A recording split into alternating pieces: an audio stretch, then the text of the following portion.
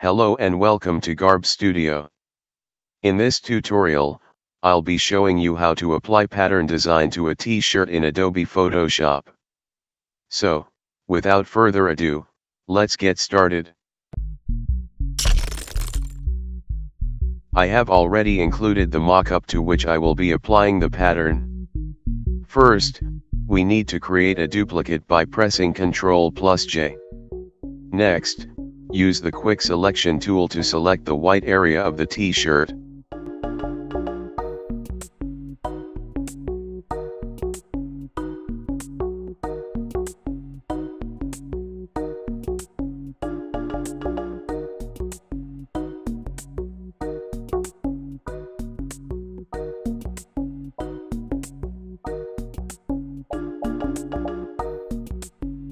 Then, choose the layer mask option to mask the duplicated layer.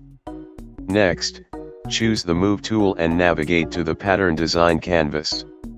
Drag and drop the pattern onto our mockup.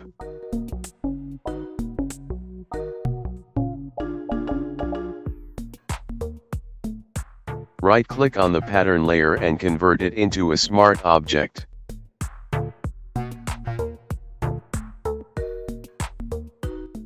Proceed to the blending mode and select multiply.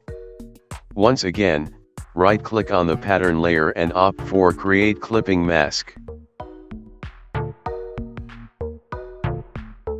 Now, double click on the pattern layer to access the layer styles. Navigate to underlying layer in the blending options.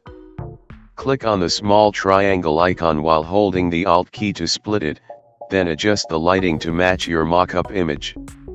Once satisfied, click OK.